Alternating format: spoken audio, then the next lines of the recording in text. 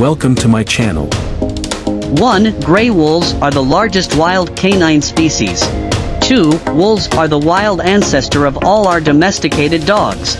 3. Wolf packs usually hunt within a territory of 50 to 1,000 square miles. 4. Wolves often travel at 5 miles per hour, but can reach speeds of 40 miles per hour. 5. Wolves howl to solidify pack bonds and warn other wolf packs to stay away. See you in the next video. Thanks for watching.